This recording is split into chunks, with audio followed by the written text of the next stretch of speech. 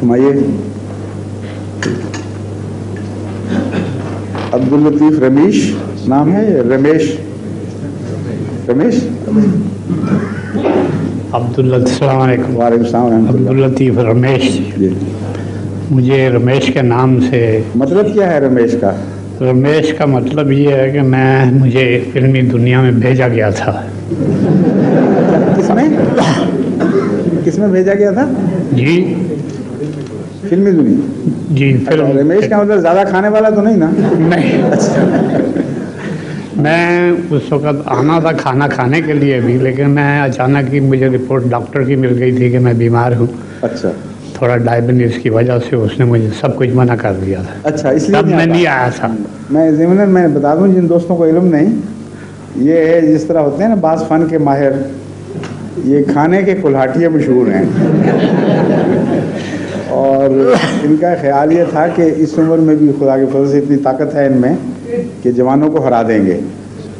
तो मैंने इनकी बेगम साहबा तशीफ लाई मिलने के लिए कोई काम था उनको। उनसे मैंने पूछा मैंने कहा ये बात ठीक कहते हैं? कोई ख़तरा तो नहीं इनको?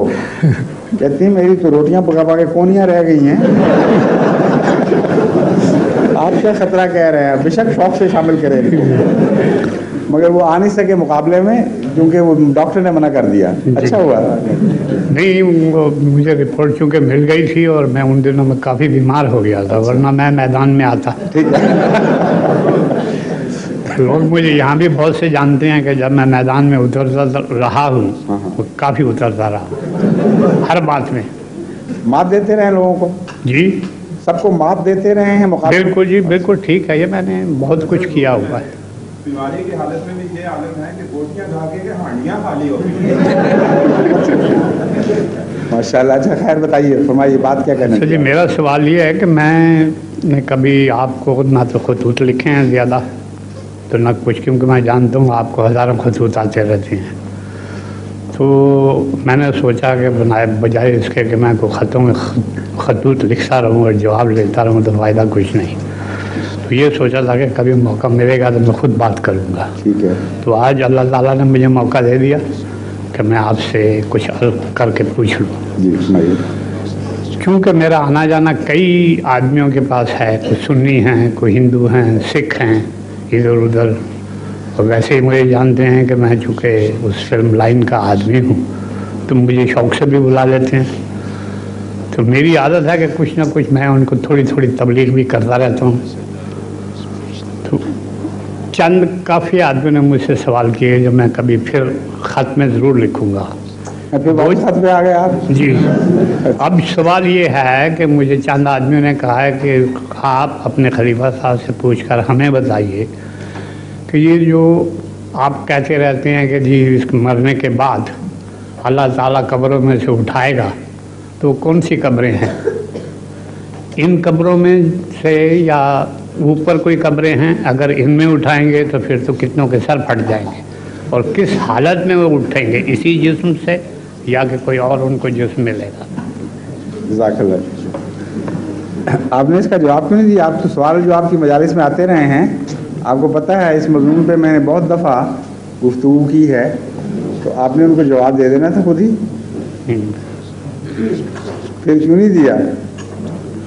नहीं मैंने तो नहीं उसका देखें, आपको पता है यहाँ मज़ा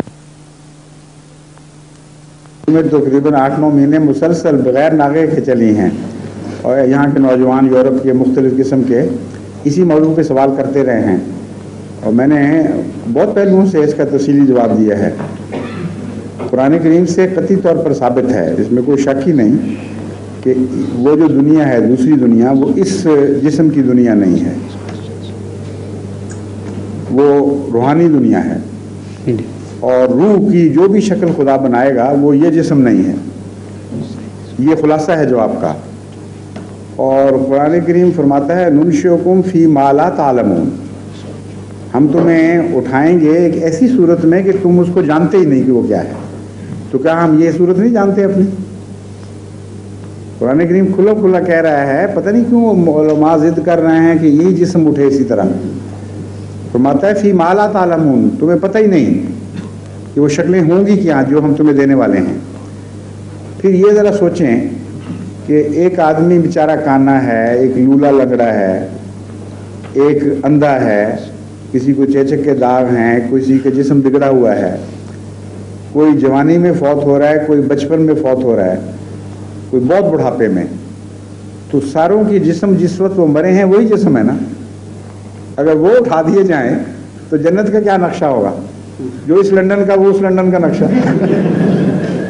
कोई लूला लंगड़ा को करचिस में पहुँच रहा है, वहाँ कोई बेचारा आँखों से माजूर फिर रहा है।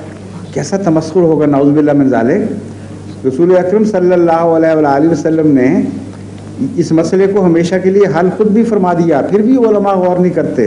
हैरत है कि दिमाग में एक दफ़ा चीज़ घुस जाए, उसको छोड़ने के लिए तैयारी नहीं होते। एक बुढ़िया हज़रत वसल्लम की खिदमत में हाजिर हुई और जन्नत की बात हुई। उसने कहा यार रसोल्ला मैं भी जन्नत में जाऊँगी। तो हज़रत वसल्लम बाज़ दफ़ा बहुत पाकिज़ा मज़ाक फरमाते थे, एक मसले की तरफ़ रोशनी डालने की खातिर। आपने फरमाया, कोई बुढ़िया जन्नत में नहीं जाएगी। उसकी चीखें निकल गई बेचारी की डर के बारे सुना, मैं तो मारी गई आप मुस्कराए तसली दी कि, नहीं नहीं नहीं मतलब है कि कोई जन्नत में कोई बुरा नहीं होगा, खुदा जवानी की हालत में दाखिल करेगा। बेहतरीन हालत में। तो वो जिसम जो लेके मरी थी बुढ़िया, उसे उठाना था खुदा ने फिर। अगर रसुल्ल अक्रम वसल्लम के जहन में यही बात होती तो कभी ये जवाब ना देते। इसलिए वो जिसम है ही नहीं। और फिर वो जन्नत भी ऐसी जिसकी तशरी कुरान करीम ने यह फरमाई अर्ज़मावत वाला वो ऐसी जन्नत है जो ज़मीन और आसमान पे मुहित है। कोई कायनात का की जगह ऐसी नहीं जहाँ वो जन्नत मौजूद ना हो। अब सहाबा ने भी यही तस्वुर बांधा होगा शुरू में कि कोई मादी जन्नत है, कोई जगह है, बाग लगा हुआ, वहाँ नहरें दूध की सचमुच की बह रही हैं इस किस्म की। सचमुच की तो है, लेकिन आला दूध है, कोई और चीज़ है। मगर उसी वक्त साहबा ने यह सवाल किया, और सवाल करने वाले ने बड़ा दिलचस्प सवाल किया।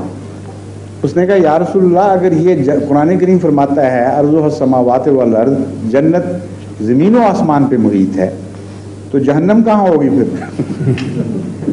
इतना माकूल सवाल है।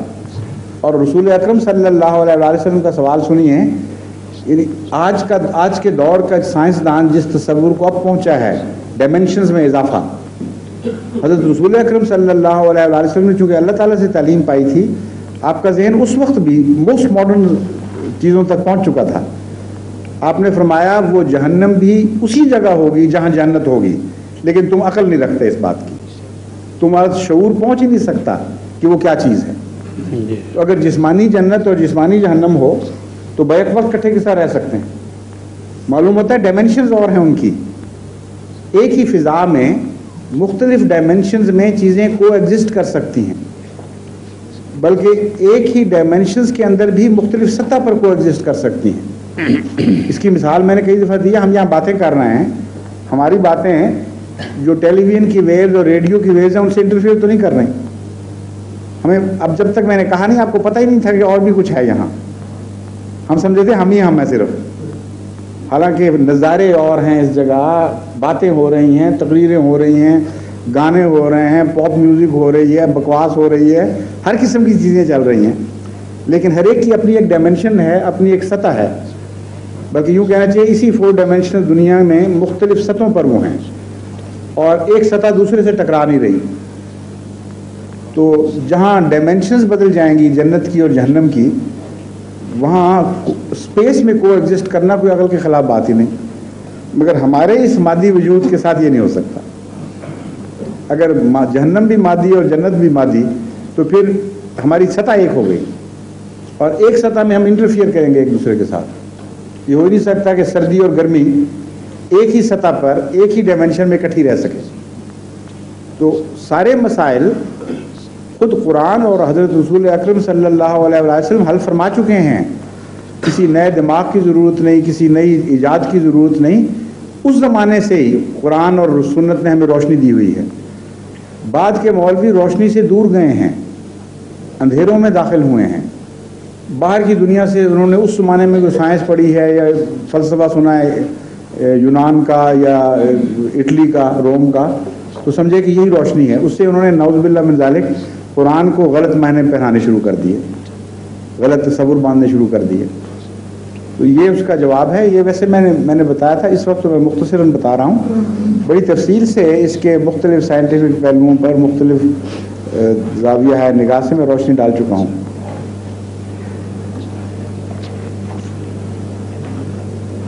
बाकी सवाल तो आपने लिखने थे या अभी कुछ करने हैं तो करें फिर। बस- इसके कि कोई और दोस्त पूछना नहीं, बस वक्त है वक्त है बेशक कीजिए मैं यही पूछना चाहता था और ताकि मैं उन लोगों को बताऊँ मुझसे अक्सर ही ये सवाल किया करते थे। हाँ आप ये कैसे दे जाएँ इनसे तो- उनको सुना दें वो मोटर में लगा लें किसी वक्त। आप ही जवाब मिल जाएगा उनको। बहुत बेहतर है अच्छा शुक्रिया बहुत बहुत।